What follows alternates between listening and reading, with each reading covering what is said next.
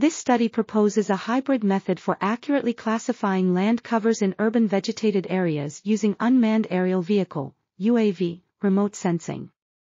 The method combines random forest and texture analysis to improve classification accuracy beyond traditional maximum likelihood methods. The results show that the inclusion of texture features significantly improves classification accuracy, and that this improvement follows an inverted U relationship with texture window size. Overall, the study demonstrates the potential of UAVs for efficient and accurate urban vegetation mapping. This article was authored by Quanlong Feng, Jiantao Liu, and Jianhua Gong. We are RTCL.TV, links in the description below.